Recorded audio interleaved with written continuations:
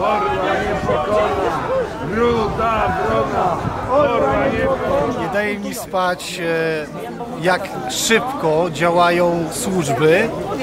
E, Najpierw zaczęło się od e, telewizji polskiej, teraz kolejny incydent. Wszystko się dzieje dramatycznie szybko. Nie pozwalają na pewne procedury, żeby się odbyły. I wygląda na to, że oni próbują podburzać lud. Wygląda mi na to, że oni próbują e, wzburzyć e, i podzielić bardziej naród. Bo każdy wie, że jakby pokazały nawet wybory, że naprawdę naród jest podzielony. Nie ma w ogóle co do tego żadnego znaku zapytania. E, I oni powodują to, ten podział jeszcze e, bardziej, to się jeszcze bardziej wzmaga. Czyli uważa pan, że to jest celowe działanie władzy? Znaczy, wydaje mi się, że tak, bo można pewne rzeczy robić, tak? I rzeczywiście, jeżeli idziemy procedurami, to naprawdę można to załatwić inaczej.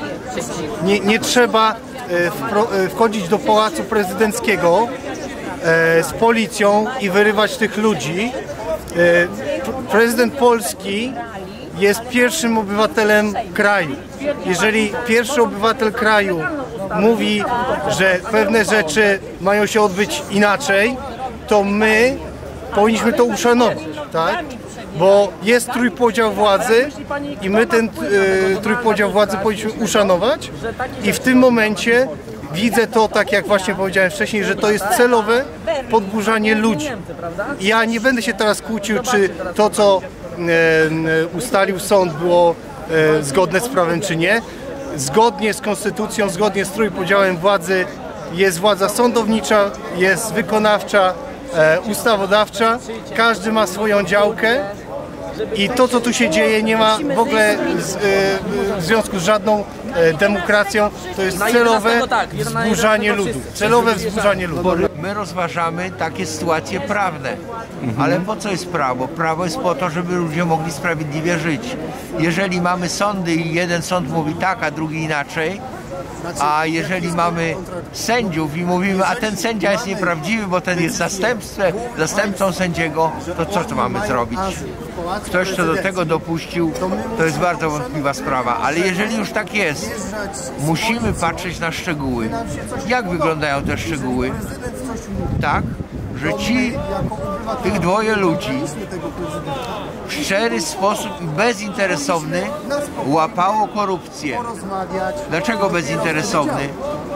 Nie mieli z tego żadnego zysku, wręcz ich, ich rząd upadł przez tą aferę przy odrolnieniu gruntów. Sąd parszywie zasugerował, że to, był, że to oni prowokowali, tak jakby to był ich pomysł, ale w tej sprawie złapali przestępców.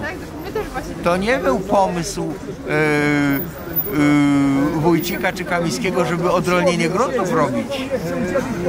Oni dostali informację, że ktoś planuje korupcję i chcieli tych złapać. I żeby tych ludzi, którzy chcieli korupcję łapać, żeby ich za to skazać, to kto to zrobi? No to musi być albo członek mafii, albo pod presją mafii. Można komuś przyłożyć do, do, do skroni pistolet i powiedzieć sędzia, nie sędzia, masz tak powiedzieć. Można powiedzieć, bo jak nie, to ci zgwałcimy córkę albo co takiego. I musimy się z tym liczyć niestety. Także trzeba się kierować własnym rozsądkiem, a nie takimi powierzchownymi informacjami. tylko do mandatów dawania, do niczego więcej. Orła nie pokona! Proszę powiedzieć, e, co, co powoduje, że pani ma łzy w oczach i pani tutaj przychodzi o tak późnej porze? Wie pan, wie pan, dlatego że rok temu jeszcze, pamiętam, styczeń zeszłego roku, byłam co prawda w żałobie i po mężu i po mamie, ale żyłam w kraju, który mlekiem i miodem płynął, który, który był wspaniały, wspaniale się rozwijał. A dzisiaj, ledwie po niecałym miesiącu rządów Tuska, co już w 2011 roku w wyborach do parlamentu miałam takie hasło Chcę Polski bez Tuska, bo dokładnie było wiadomo, kim on jest. E, Po nieledwie trzech tygodniach ten kraj, nasz kraj, nasza ojczyzna zmieniła się nie do poznania. y, policja bez y, żadnej żenady wchodzi do mm, Pałacu Prezydenckiego, aresztuje posłów.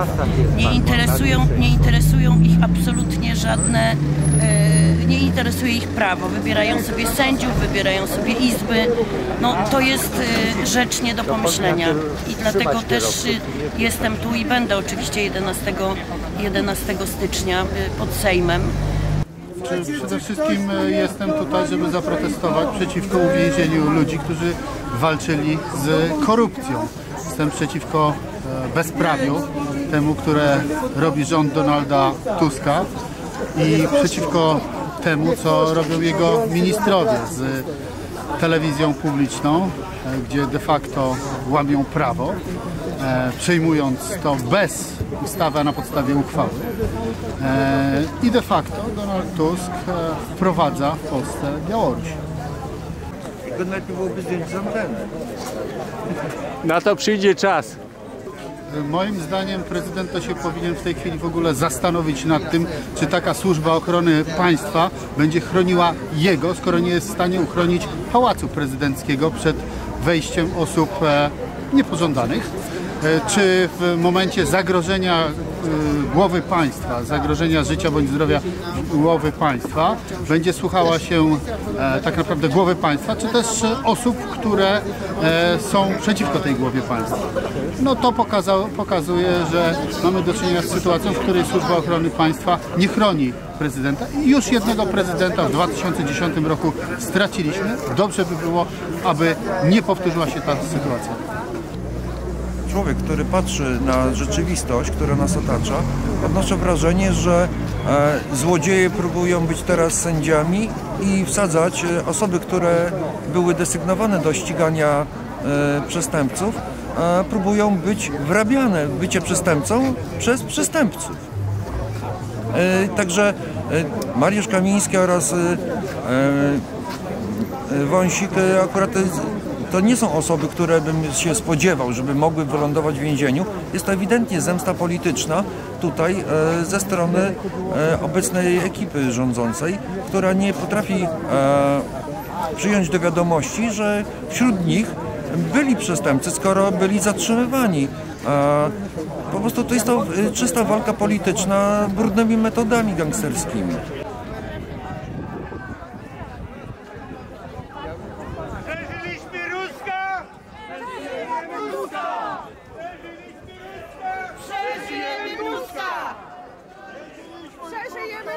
tego bandyta! Luda Bluna! Obronie Boga!